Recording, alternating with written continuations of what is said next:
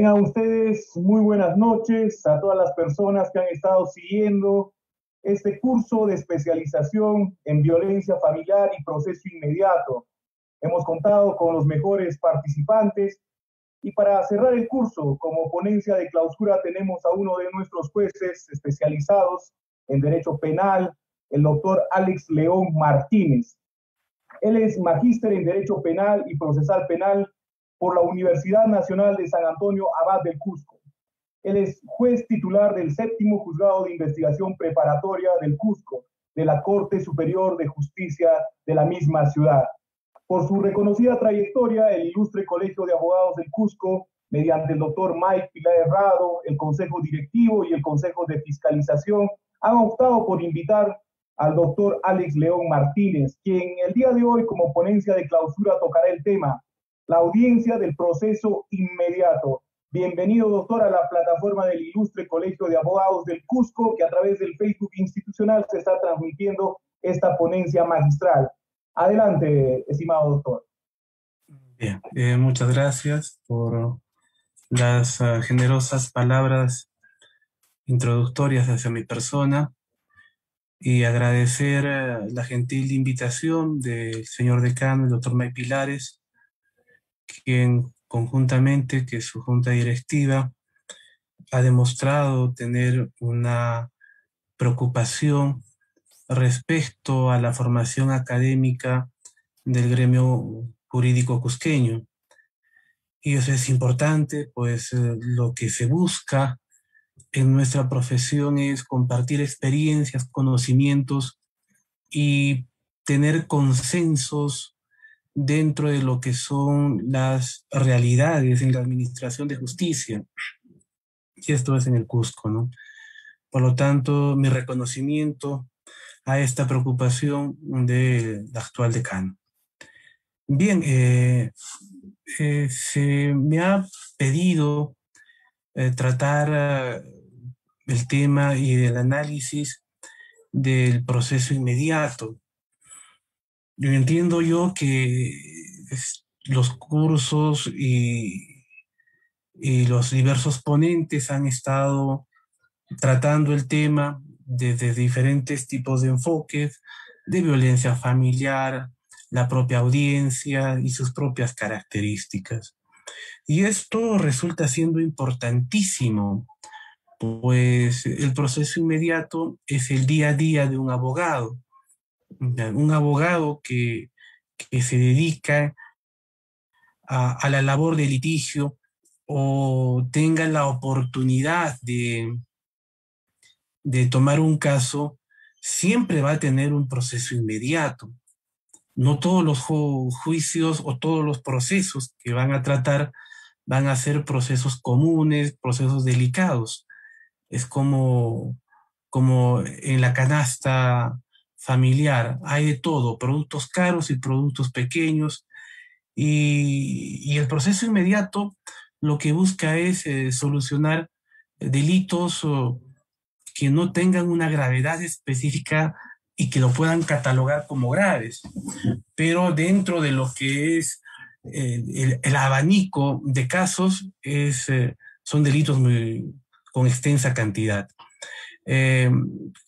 uno que ya ha recorrido algo mm, en años en la experiencia jurídica, eh, podrá recordar de que en antaño los procesos que, que habían y, tenían bastante cantidad, por decir el término, que eran bastante carga laboral a nivel de, de Fiscalía y del Poder Judicial eran los procesos de incumplimiento de obligación alimentaria. Eran cantidades, por su propia naturaleza. Pero con los años oh, se ha podido verificar, y esto de acuerdo a la tipificación, se incrementó a este grupo los delitos de eh, conducción de vehículos motorizados. Después los delitos de hurto, hurto agravado. Hasta ahí pensábamos que era la carga fuerte, pequeña, pero en gran cantidad.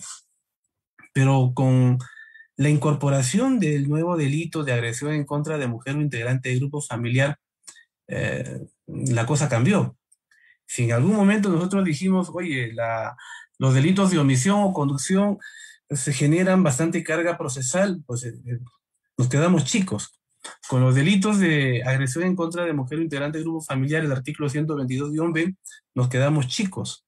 Pues todo acto de violencia familiar, sea física y psicológica, se constituye delito, por lo tanto, actualmente esta es la carga en gran medida que se tiene. Entonces, eh, voy a comenzar a, compartiendo esto a modo de introducción, por supuesto. Van a disculpar, tengo eh, el rótulo de, de Daniela León, sino que a veces los hijos son ya los amos y señores de las computadoras y mi hija ha estado obviamente manejando mi computadora, solamente con esa salvedad. Bien. Eh, gracias. Entonces, eh, vamos a comenzar haciendo referencia a, puntos uh, específicos del proceso inmediato. Cuando nosotros hablamos de proceso inmediato, entendemos que existe eh, dentro del Código Procesal Penal vigente un proceso estándar, que es el proceso común, el cual todos lo, todos lo conocemos, que tiene sus tres etapas, etapa de investigación preparatoria, etapa intermedia y juicio oral. Pero no todo proceso va a tener todo ese discurrir de un procedimiento propio y tal. ¿Por qué? Porque todos los delitos no son iguales. Existen delitos graves, delitos intermedios y delitos pequeños. Y justamente el legislador en su oportunidad diseñó el proceso inmediato para ciertos delitos pequeños de fácil probanza.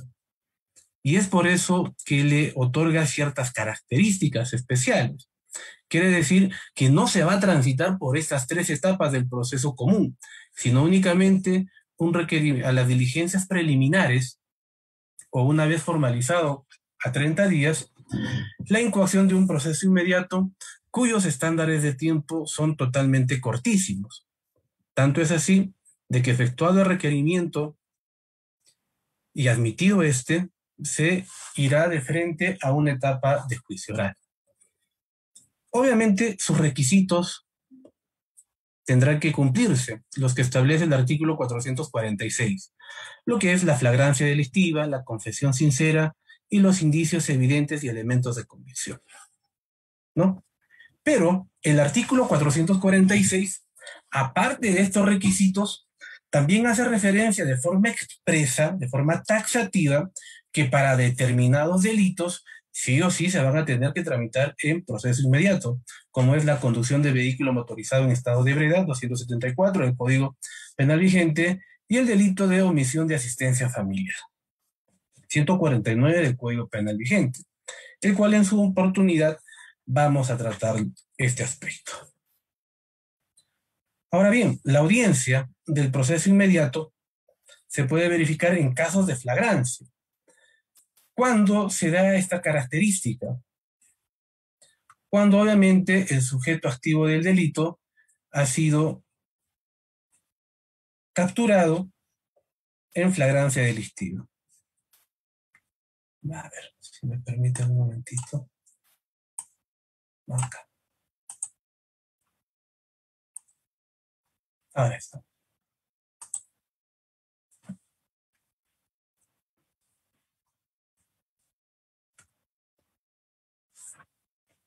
Cuando se plantea un proceso inmediato en flagrancia delictiva, implica que el fiscal, por mandato constitucional, puede detener a una persona por 24 horas.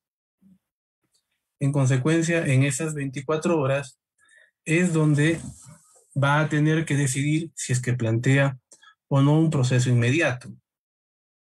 Entonces, los presupuestos que hace referencia la norma en el artículo 446 es que existe la propia flagrancia, conforme al artículo 259, el imputado haya confesado el delito, artículo 160, y los elementos de convicción acumulados sean evidentes. No procede en casos en que eh, sea complejo. ¿Y cuando hablamos nosotros de complejidad? Conforme al artículo 342 cuando requiera de actuación de una significativa cantidad de actos de investigación, comprenda la investigación de numerosos actos delictivos, involucra una cantidad importante de imputados. Son varios. Entonces, la norma expresa nos hace referencia a estos aspectos que tenemos acá en, la, en el PowerPoint, ¿no? Pero, y en acá es un aspecto importante que quiero detenerme para poder eh, comentarles. Normalmente, eh, el proceso inmediato está diseñado para delitos pequeños, delitos donde la gravedad de la pena no es tan grave. Y obviamente tiene que haber una evidencia de la comisión del acto delictivo. Si nosotros vamos a verificar dentro de los presupuestos que establece el artículo 446, entendemos a la flagrancia, la confesión del imputado y los elementos de convicción. De estos tres presupuestos que son expresos en el 446, vamos a poder verificar que en el rubro de el más importante son los elementos de convicción. El proceso penal trabaja en base a la prueba, a la evidencia. Pongámonos en un supuesto en que se ha detenido a un imputado por la supuesta comisión de un delito de hurto durante la noche, agravado, por supuesto, pero lo han detenido flagrantemente, existe una tenua sindicación por parte de la víctima, no se han recuperado los bienes, pero el agente del delito indica, yo no he sido, se están confundiendo conmigo. No existen cámaras de seguridad, únicamente tenemos una sindicación relativa, tenue, lánguida, por parte del agraviado que no los indica directamente. Puede que exista flagrancia delictiva, pero no contamos con elementos de comisión de un delito evidente. Entonces, no podríamos tramitar un proceso inmediato porque, por más que sea flagrancia delictiva, no existen elementos de condición que corroboren ese acontecimiento. Pongamos otro acontecimiento, otro hecho, otro supuesto. Que eh, se haya cometido el delito, que el imputado haya confesado el delito. ¿Bastará únicamente la confesión del imputado decir, yo he cometido el acto delictivo? ¿Y si no es corroborado con elementos de convicción? Por supuesto que no. Recuerdo bastante un caso que tuve en el juzgado donde una pareja había ingresado a Promat y de forma sistemática habían sacado diversos productos. Productos. Había que, si mal no recuerdo, una chapa, algunas herramientas, lo guardaron. Y cuando salían del establecimiento comercial, son detenidos. Resulta que el sujeto varón que fue intervenido y que, y que participaba de estos hechos con su pareja había sido efectivo policial. Y su pareja, a fin de que no tenga ningún tipo de problemas a nivel institucional, porque en ese tema los miembros de la Policía Nacional del Perú son bastante estrictos, y entonces, muy a pesar de que las cámaras de seguridad verificaban que había una participación, un desempeño de roles entre ambos sujetos, determinaba ya la configuración de un hurto agravado por, por la circunstancia de la concurrencia de dos o más personas. Pero la señora, la concubina de este señor, a efecto de que su esposo con concubino no tenga problemas, decidió inmolarse y se atribuyó responsabilidad. Yo he sido. El autor del Señor no ha sido. Entonces, por más que existe una confesión, porque la señora confesó que yo lo había hecho, poniendo una serie de justificaciones, no podía concurrir esa circunstancia de un proceso inmediato de una confesión sincera o confesión del delito, porque obviamente por otro lado había elementos de convicción que decían otra cosa. Entonces, si nos damos cuenta nosotros de estos supuestos que establece el artículo 446, estos tendrán que ser conjugados sí o sí con los elementos de convicción. Y eso es algo natural, porque el proceso penal trabaja en base a prueba, a evidencia, no en base a supuestos. Quiere decir que siempre va a ser este tercer presupuesto el más gravitante para, para valorar la procedencia de un proceso inmediato. Ahora bien, a consecuencia del proceso inmediato, se ocasionó en un inicio de su vigencia algunos inconvenientes, pues la norma hacía referencia a un mandato expreso al representante del Ministerio Público para la tramitación de este tipo de procesos, en el cual obligaba al representante del Ministerio Público. Y había ciertas confusiones, en el cual todo delito que se invocaba, todo delito tenía que, que, tenía la circunstancia de flagrancia delictiva, venía al juzgado invocando proceso inmediato. Eso lo hacía el fiscal. Había delitos de robo agravados, delitos de trata de personas, delitos de tráfico ilícito de drogas, artículo 286 del Código Penal vigente, y había un despropósito. Quiere decir que los fiscales, por más que sea flagrancia, estaban invocando procesos inmediatos. Y eso estaba colapsando, no por un tema de carga procesal, sino de que estaba deslegitimizando al proceso inmediato, pues todos los, todos los delitos no podían ser invocados en este procedimiento especial. Uno de los casos emblemáticos y que mereció justamente la dación del acuerdo plenario extraordinario 1-2016 fue el caso Buscaglia.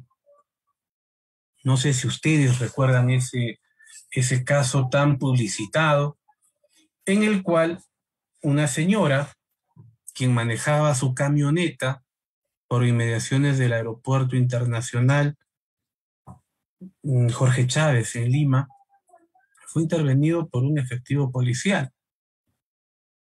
Resulta que la señora se puso muy agresiva, faltó el respeto al efectivo policial, lo, lo empujó, incluso le hizo caer su, su sombrero safari y fue televisado y causó indignación.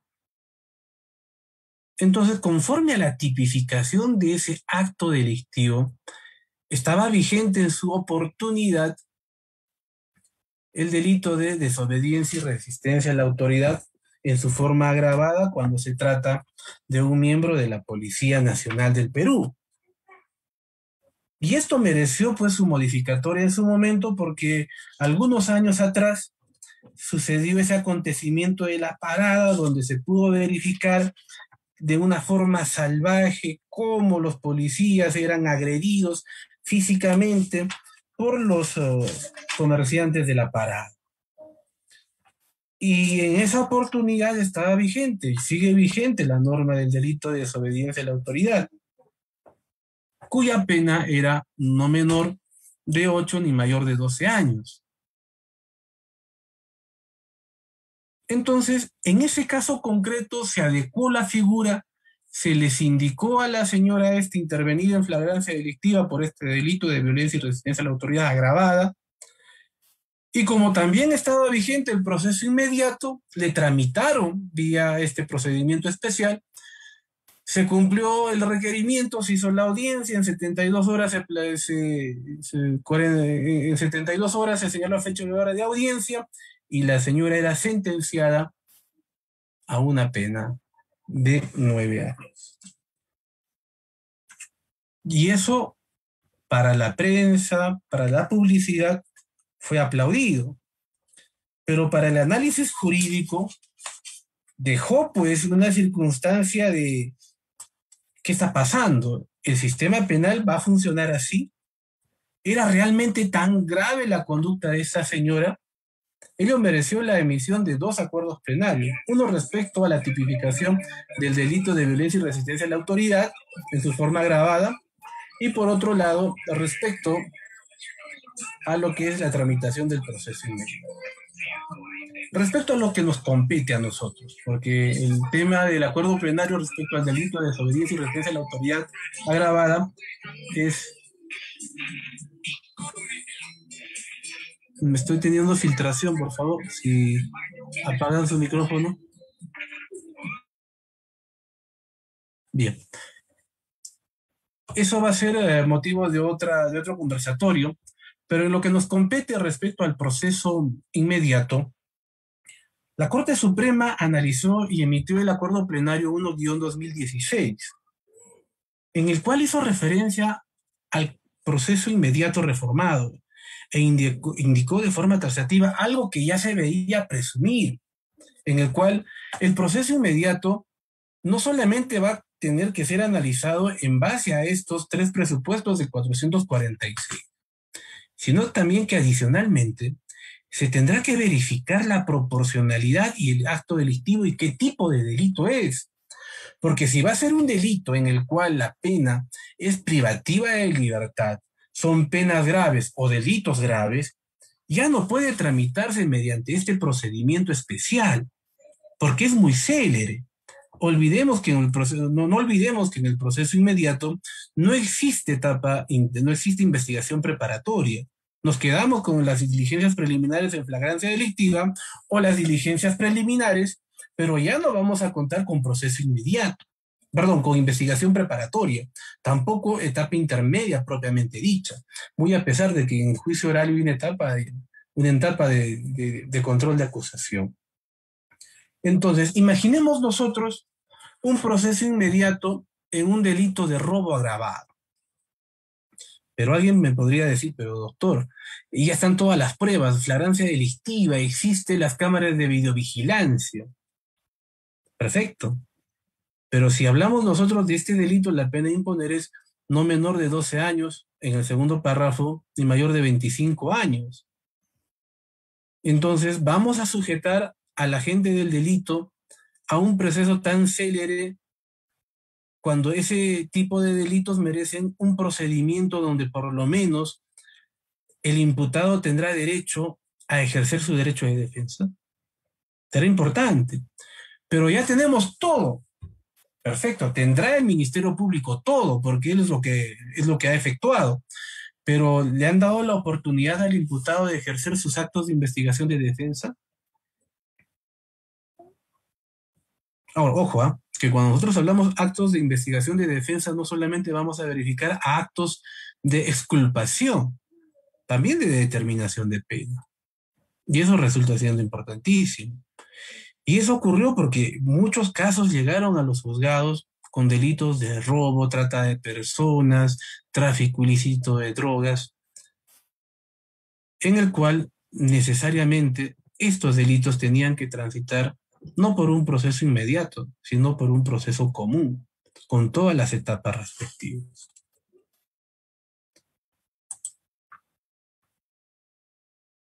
Bien, esto lo también. Confesión, también. Evidencias. Bien. El trámite de una audiencia de proceso inmediato la norma hace referencia cuando existe flagrancia delictiva que al término del plazo de la detención policial, que son 24 horas, el fiscal deberá solicitar la incoación de proceso inmediato al juzgado de investigación preparatoria y de ser necesaria alguna medida de coerción. Ojo, acá se pone eh, para los delitos de terrorismo, espionaje y tráfico de drogas. Obviamente por estos delitos nunca va a haber un proceso inmediato. Esto lo he puesto por el tema de que la Constitución hace referencia a la, flagrancia delictiva, ¿no? Entonces, el juez de investigación preparatoria, dentro de los 40, las 48 horas, va a señalar fecha y hora para la audiencia de incoación del proceso inmediato. Ojo, el imputado estará detenido hasta la realización de la audiencia. En ese extremo ha habido ciertos cuestionamientos en el cual existe una posición muy respetada del doctor Wesley Estete, en el cual él considera de que no debería eh, privarse la libertad en estas 48 horas al imputado, salvo existe un pedido de prisión preventiva.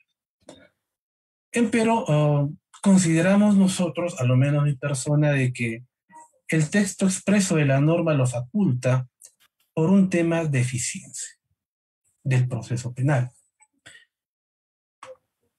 Y lo fundamento. ¿Por qué? Eh, si nosotros verificamos el proceso penal, siempre va a estar revestido de ciertas garantías al imputado. Y uno de ellos es el proceso común. Pero como he dicho al inicio de mi exposición, no todos los delitos tienen la misma naturaleza, no todos son graves. Existen delitos pequeños, en el cual lo que busca el Estado es solucionarlos. Imaginemos nosotros que no existe el proceso inmediato. En todo caso, tendría que tramitarse en medida un proceso común. Por un delito donde existen evidencias de la comisión de un acto delictivo, por un delito de incumplimiento de obligación alimentaria o conducción de vehículo motorizado en estado de ebriedad, ¿tendríamos que transitar todas las etapas del proceso penal? Obviamente sería un absurdo, en el cual se va a perjudicar a la parte más ah, dejada de menos, la víctima. Pero también se perjudica al propio imputado, quien ya quiere solucionar su, su inconveniente procesal, judicial y sanearlo. Porque obviamente no olvidemos que los costos judiciales también son cuantiosos, a lo menos para, unas personas, para las personas que carecen de, de ingresos económicos. El pago de abogados, y si no es abogado de repente defensa pública, pero tiempo, incertidumbre. Y eso, sinceramente, también desgasta a un ser humano. Entonces, el proceso penal se pone a pensar en estas circunstancias para de alguna manera solucionar esta carga procesal. El objetivo del proceso inmediato es atender a la gran carga procesal pero que no, es un, que no son de delitos graves. Los delitos graves se tramitarán por la vía correspondiente, pero darle eficiencia y garantía a este tipo de procedimientos. Y es por eso que determina la detención del imputado dentro de las 48 horas hasta la realización de la audiencia, en el cual ya se determinará su situación jurídica. Ahora bien, en una audiencia, en una audiencia de proceso inmediato, teniendo las características de la solvencia de los elementos de convicción, de flagrancia delictiva, de confesión por parte del imputado, es más previsible de que vayan a concurrir la utilización de mecanismos alternativos de solución de conflictos penales. Uno de ellos, el principio de oportunidad, acuerdo reparatorio y terminación anticipada. Y esto justamente hace de que se solucione de forma inmediata. Para lo cual eh, quiero comentar eh, este aspecto.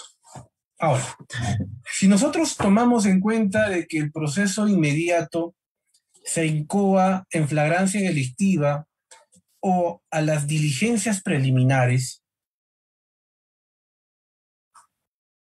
es pertinente el trámite de un mecanismo alternativo de solución de conflicto penal. Empero, las condiciones van a ser diferentes para un principio de oportunidad o acuerdo reparatorio. No olvidemos nosotros que el artículo 2 del Código Procesal Penal vigente establece cuáles son los requisitos para un principio de oportunidad, acuerdo reparatorio, en el cual incluso otorga un plazo de hasta nueve meses para poder materializar el resarcimiento. Entonces nosotros, nosotros diríamos, en todo caso yo puedo aplicar un principio de oportunidad en instancia judicial vía proceso inmediato y me tendrían que dar los nueve meses. No es tanto así, porque lo que se está verificando es un proceso inmediato a nivel judicial y ya le están dando la oportunidad. En todo caso, el resarcimiento tendrá que ser de forma prudencial de la ah, forma más inmediata posible porque la norma hace referencia de la incoacción del proceso inmediato que tendrá que ser resuelta en audiencia de forma inmediata, valga la redundancia, se remitirá, se otorgará 24 horas al fiscal para que haga requerimiento acusatorio y 72 horas para la instalación de juicio oral. Y en todo caso, no podemos vulnerar ese mandato expreso de la norma para pretender la aplicación de un principio de oportunidad dentro del plazo que se otorga para el Ministerio Público. Y eso pasa con el acuerdo reparatorio. Y por último, la terminación anticipada en el cual el juez está habilitado para poder emitir una sentencia de terminación anticipada siempre y cuando reúnan las condiciones necesarias. Ojo, para la aplicación de un principio de oportunidad, acuerdo reparatorio e incluso terminación anticipada, el juez dentro de sus competencias de control, obviamente previamente va a tener que determinar la existencia de un acto delictivo. Ojo, el, el principio de oportunidad implica la comisión de un acto delictivo y la aceptación del delito. Bien.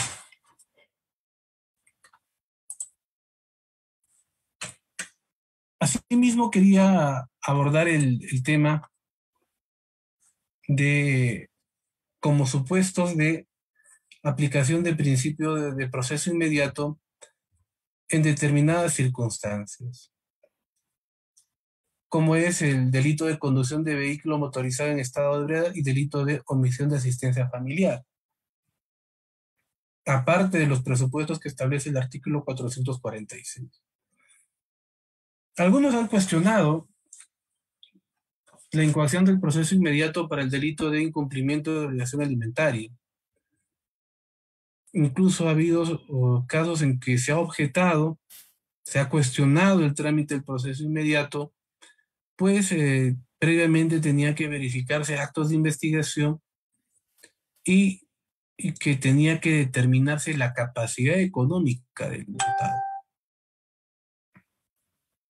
yo creo que el legislador ha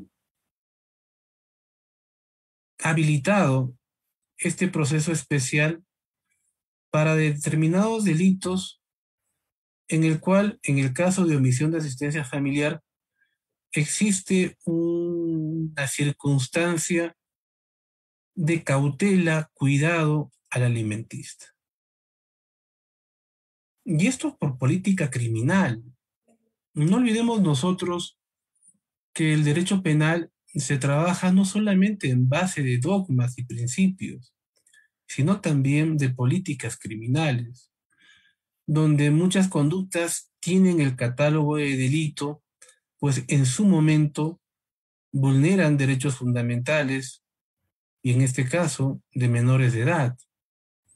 Hay algunos hechos y conductas humanas que son catalogadas como delitos por circunstancias especiales.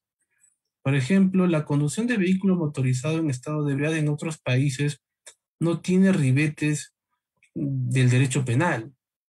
Son faltas administrativas. O delitos de incumplimiento de obligación alimentaria ah, basadas a lo que es el derecho civil. Empero, nuestra realidad hace de que estas conductas tengan que ser calificadas como delitos.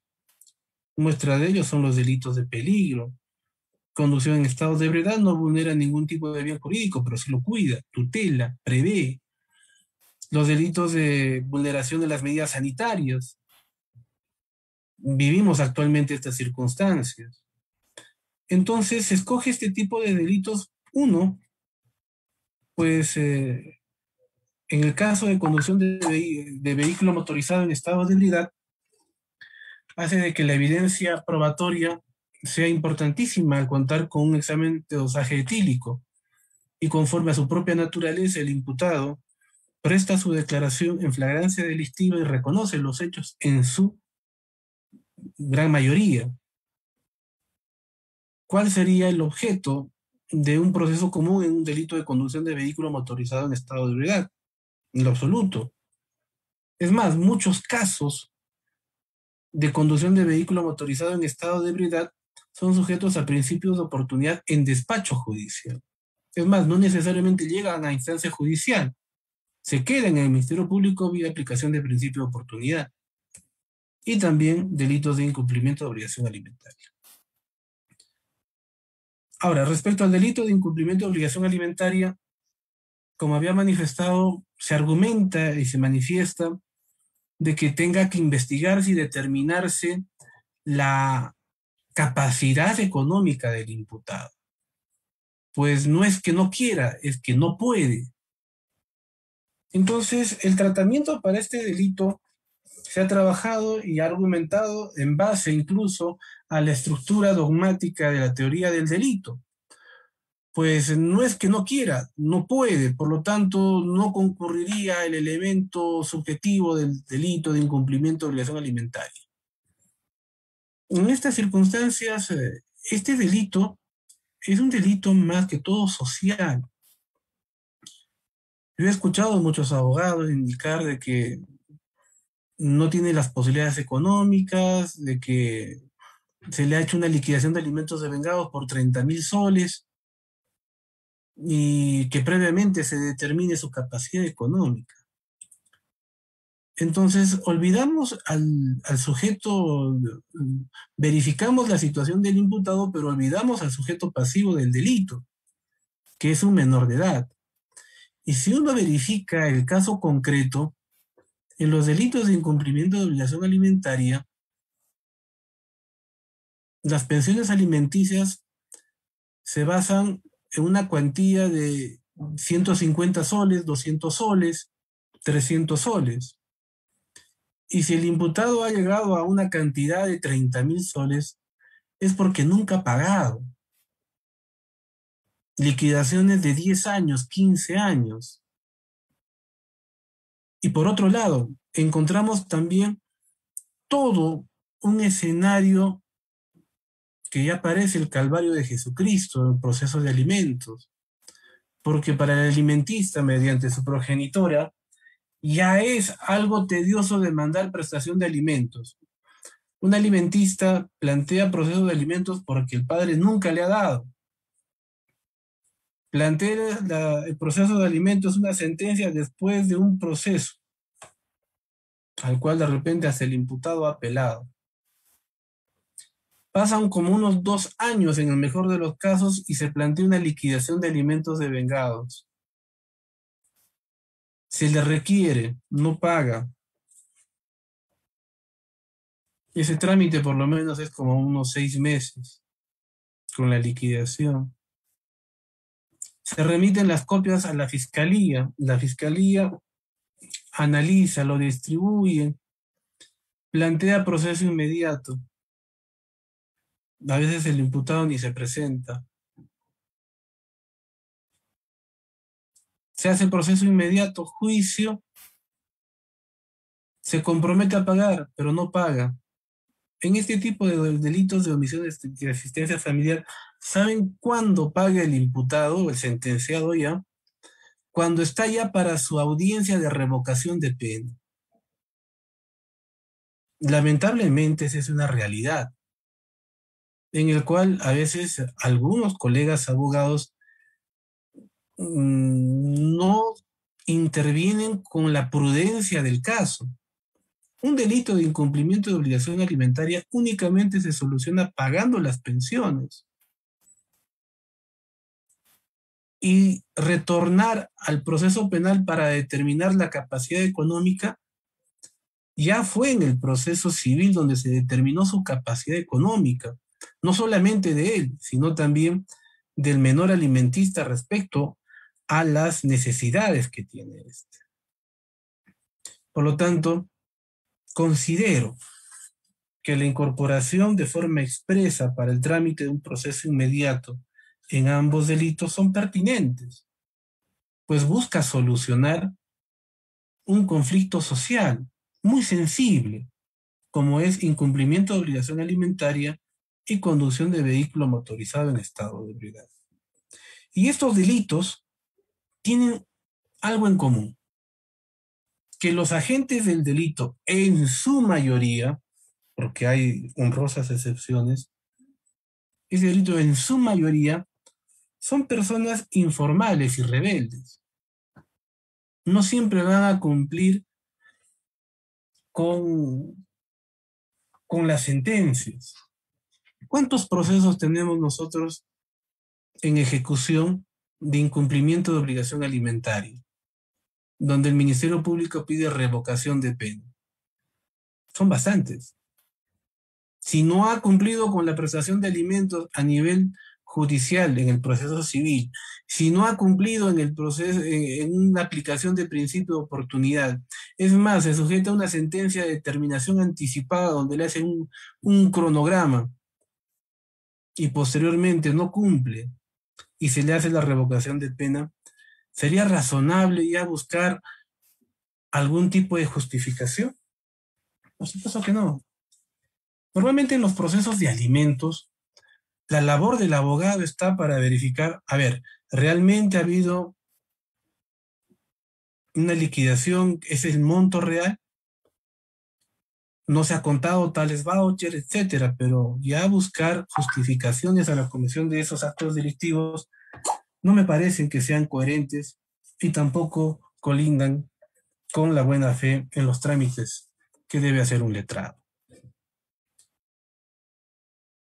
Eso respecto a ese tipo de delitos y quería dar mi, mi comentario en este extremo.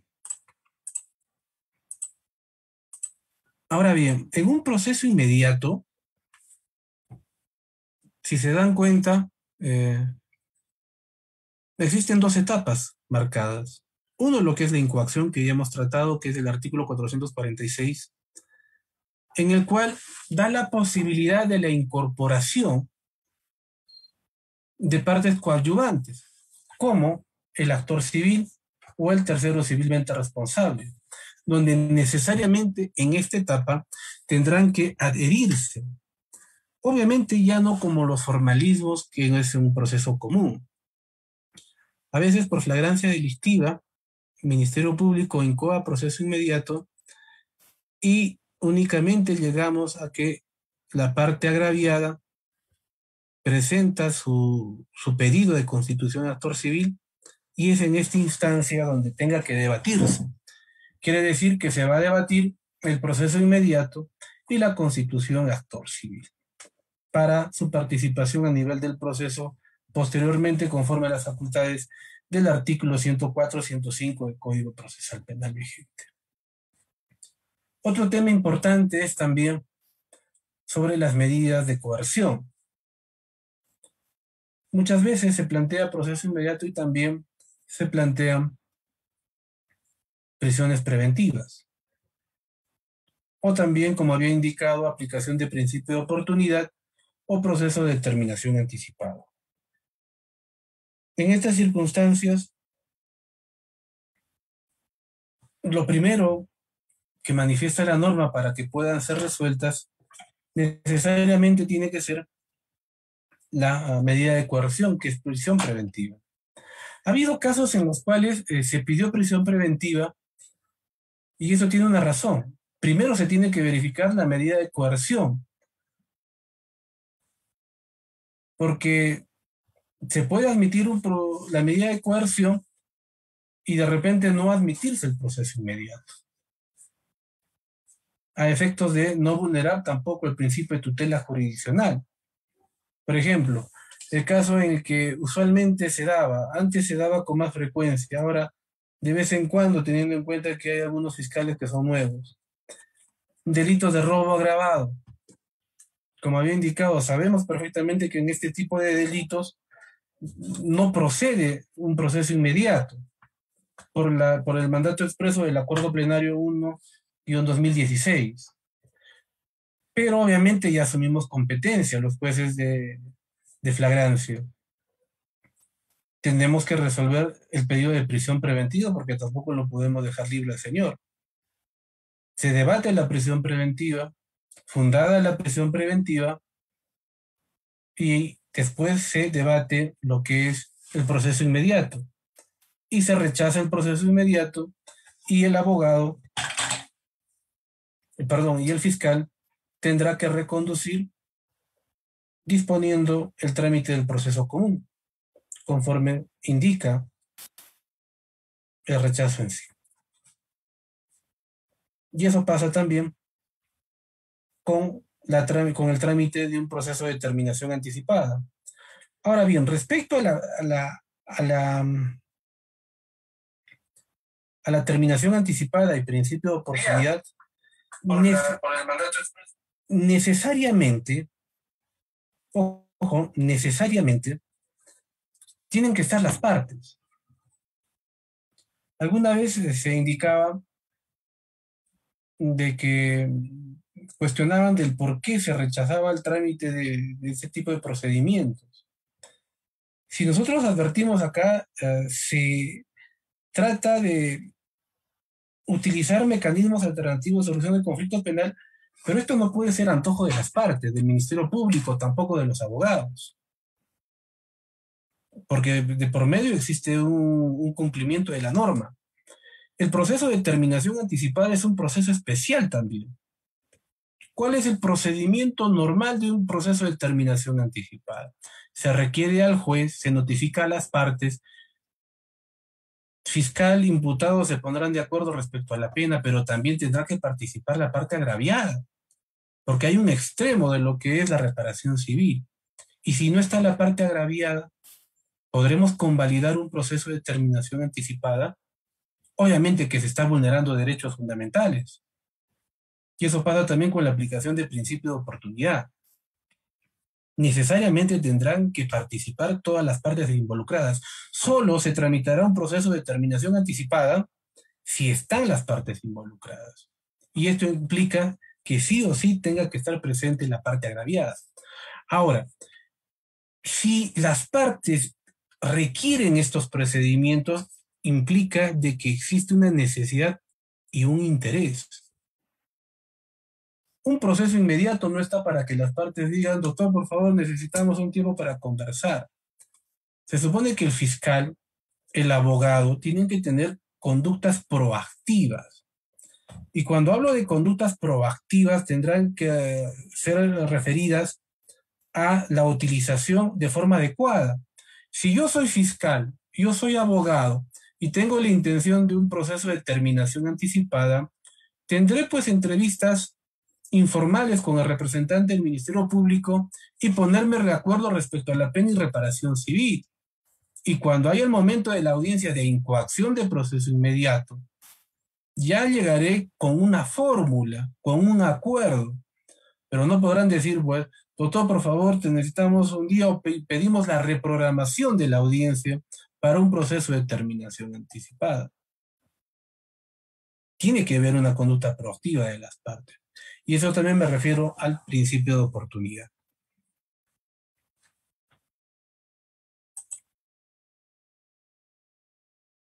Ahora, respecto a la apelación. Cuando el juez de investigación preparatoria emite una resolución, tiene dos opciones el juez de investigación, de investigación preparatoria. Puede declarar fundado el requerimiento de incoación del proceso inmediato. La norma hace referencia de que esto es apelable. ¿Quién es el que apela en estos casos? Es el abogado del imputado porque no está conforme, porque tiene un fundamento de que no está de acuerdo, que esto no es proceso inmediato, debe tramitarse o devolverse al fiscal para que haya un proceso común. Esa es la intención. Pero ¿qué pasaría si el fiscal, si el juez rechaza el proceso inmediato? El fiscal podría apelar la la improcedencia del proceso inmediato? No. Porque la norma no lo señala de forma expresa. Lo que la norma señala de forma expresa es de que la resolución que declara fundada el proceso inmediato puede ser apelada, pero no la que declara improcedente. Porque el juez cuando declara improcedente al, Ministerio Público su proceso inmediato, lo que le está diciendo es investiga o es un delito grave. Y lo que tendrá que hacer el fiscal es emitir la disposición correspondiente o tramitarla vía formalización de investigación preparatoria. Ese aspecto quería ponerles como una precisión. ¿no? Ahora, cuando se apela la resolución del proceso inmediato, por su propia característica, este tiene que ser apelado de forma inmediata, de forma oral, no por escrito, justamente por sus propias circunstancias y ser elevada ante el superior jerárquico. Ahora, la instalación de la audiencia de incoación del proceso inmediato es de carácter inaplazable, conforme al artículo 85 del Código Procesal Penal vigente.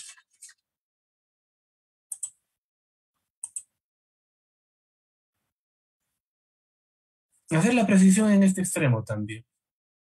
El proceso inmediato se desarrolla en dos audiencias, en dos partes marcadas donde van a participar en un primer momento un juez de investigación preparatoria que va a manejar únicamente el tema de incoacción, si procede o no procede proceso inmediato. Eso es el juez de investigación preparatoria. Y le da un plazo de 24 horas al fiscal para que formule requerimiento acusatorio. Una vez presentado el requerimiento acusatorio, en 72 horas el juzgado tendrá que señalar fecha y hora para juicio oral, pero ya es competente otro juez. Este juez, ya de juzgamiento, va a cumplir un rol bien curioso. Va a ser un juez que va a hacer un control de acusación, va a emitir un auto de enjuiciamiento y a la vez, culminado ello, va a proceder a realizar el juicio. Ahora bien, la idea de un proceso inmediato no es que lleguemos al juicio oral. La idea de un proceso inmediato es de que se utilicen mecanismos alternativos de solución de conflicto penal desde un inicio. La idea es partir desde el Ministerio Público. Ministerio Público, titular de la acción penal, si tuviera un caso de conducción de vehículo motorizado en estado de ebriedad, lo primero que tendrá que efectuar será pues convocar a un principio de oportunidad, solucionarlo a nivel del despacho judicial. Si hay un delito culposo, solucionarlo en este instante. Ya posteriormente, pues invocar un proceso inmediato. En la incoacción se podrá utilizarse. En el control de acusación también. La idea es de que del 100% de estos casos, solamente un 10% llega a, a juicio oral. Ahora, por, su propio, por sus propias características, se llega a lo que es control de acusación y se declara contumaz al imputado. Una vez que sale la requisitoria, ya detenido concurre al despacho y la tramitación de sentencias con conclusión anticipada son en su mayoría. Son poquísimos los procesos inmediatos que llegan a juicio oral. De repente algunos podrán cuestionar el trámite del proceso inmediato. Y obviamente son posiciones muy respetadas, fundamentadas también. Pero como dije al inicio de, mi exposición, el proceso penal tiene que ubicarse en tiempo y espacio para determinados casos. La búsqueda del equilibrio entre la eficiencia y la garantía tiene que concurrir necesariamente. Un proceso inmediato, un proceso célere para solucionar conflictos penales en delitos de menor lesividad. Es lo que busca un proceso inmediato. Un proceso inmediato no va a ser tramitado para casos graves, robo agravado, trata de personas, tráfico de drogas. Y yo creo que ahí debería existir de repente para marcar y evitar estos debates alguna incorporación en la norma procesal. ¿Cuándo podríamos calificar que el delito es grave? Yo considero que un delito es grave cuando ya la pena a imponer va a ser pena privativa de libertad. Cuando una pena es privativa de libertad, conforme al artículo 57 del Código Penal vigente, cuando es mayor a cuatro años. Entonces, sería importante algunas modificaciones a este proceso inmediato que está diseñado para delitos pequeños. Está diseñado para solucionar conflictos penales. Conflictos penales que no merecen transitar por procesos latos largos. Es por eso que yo cuestiono mucho a las personas que cuestionan los procesos de alimentos si es que hay fundamentos para cuestionar este tipo de procedimientos perfectos, pero que sean objetivos, pero razonados. Porque de por medio también existe atrás un ser humano indefenso que necesita los elementos básicos para su, su subsistencia. Y necesariamente tienen que ser atendidos. El derecho penal está para servir, Y eso es lo importante como abogados, que tengamos esa intención de, de, servir a la sociedad. En todo caso, yo agradezco a la Junta Directiva haberme dado esta tribuna y esta oportunidad de poder compartir ideas en este, en este evento respecto a lo que es el proceso inmediato. Quedo agradecido y si es que existiera algún tipo de, de preguntas, Estoy deseoso de poder compartir. Ay, perdón. Cancelar. Si hubiera preguntas, esto, estamos a las nueve de la noche. Entiendo yo que debe ser un poco pesado para, para los colegas quienes hacen un esfuerzo para poder compartir en esta ocasión algunas ideas relevantes a nuestra profesión.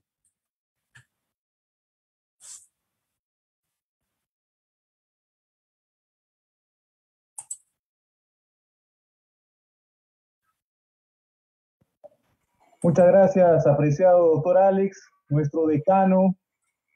Se está uniendo un momento, por favor, para darle las palabras finales y de agradecimiento. Ya se encuentra en la plataforma del Ilustre Colegio de Abogados del Cusco, nuestro señor decano, el doctor Mike Pilares Rado. Adelante, doctor Mike, Pilar, Mike Pilares Rado, para las palabras de clausura y de agradecimiento al doctor Alex León Martínez en este curso de especialización en violencia familiar y proceso inmediato. Muchas gracias, doctor Alan. Eh, creo que hoy hemos cumplido satisfactoriamente con las exigencias que así nos demanda nuestros agremiados, pero sobre todo así nos demanda la academia. En el tema de violencia familiar y proceso inmediato, hemos podido hacer un análisis con todos nuestros expositores desde el momento en que se recibe este problema social en la comisaría del sector hasta que esto toma conocimiento el fiscal de familia, pasa por el juzgado de familia, pasa por la fiscalía penal y finalmente pasa, si es que hay mérito, al juzgado de investigación preparatoria como un caso penal. Cada uno de estos vaivenes pues ha sido analizado de manera amplia y detallada y eso es lo satisfactorio, más aún cuando hemos tenido exposiciones comparativas, como así lo ha hecho, por ejemplo, la colega de la hermana República de Paraguay, la doctora Lilia Sayas, el doctor Robert Chávez, quien también nos ha hablado de muchos temas a nivel internacional, eh, el doctor Gary Montúfar, que también como fiscal esto, en estos temas de violencia familiar, eh, también nos ha hecho todo un análisis amplio y, esto, y pormenorizado respecto a este problema. La doctora Alejandra, eh, la doctora Patricia, jueces también de investigación preparatoria y de juicio, eh, así como el doctor Iván Sarabia, juez en la ciudad de Lima, las doctoras antes mencionadas en la ciudad de Arequipa, la doctora Maibea Paza, el doctor Iván Estrada, que también como abogado litigante nos ha hecho llegar a sus esto, apreciaciones respecto a este problema social y también al delito en sí. Entonces, yo creo que hemos cumplido en este extremo de poder analizar uno de los problemas que ataca nuestra sociedad y que se ha ahondado estadísticamente, como se ha podido advertir eh, en las exposiciones, este problema por el tema de la pandemia. Bien, algunos lo denominaban inclusive otra pandemia, ¿no? Que se ha venido generando durante estas cuarentenas. Eh, sin más que decir, doctores, a todos los que han participado y acá en especial eh, al que nos acompaña también el doctor Alex León, juez de investigación preparatoria, con el aprecio que le tenemos, doctor, agradecido por su exposición que ahora nos ha brindado, pues definitivamente nos ha dado todas las luces necesarias. Y, qué bueno, qué bueno también escuchar autocrítica, doctor. Eso es muy importante, escuchar de, del de la judicatura, la crítica, lo que se puede hacer, lo que se debe hacer, la garantía a las partes sin perder el objetivo también de tener que ver la celeridad del proceso, ¿no? Eh, que eso es importante y son fines en realidad del nuevo proceso penal. Entonces, estamos muy agradecidos con todos ustedes, eh, expositores, pero también nuestro reconocimiento a cada uno de ustedes, colegas, que se han dado cita todos estos días para poder esto, ilustrarse y capacitarse con estos temas de violencia familiar y proceso inmediato. Los invitamos a seguir acompañándonos y de seguro que vamos a también esto, seguir esto, comunicándoles, colegas, sobre nuevas actividades. En el presente caso, pues los certificados ya el doctor Alan se está encargando de realizar para todas las personas que así lo requieran y oportunamente así también lo puedan recabar. Claro está, nuestros expositores vamos a hacerles llegar también su reconocimiento especial por su gran aporte y de seguro que no será la primera ni la última, doctores, para continuar en este trabajo. Muchas gracias, doctor Alan.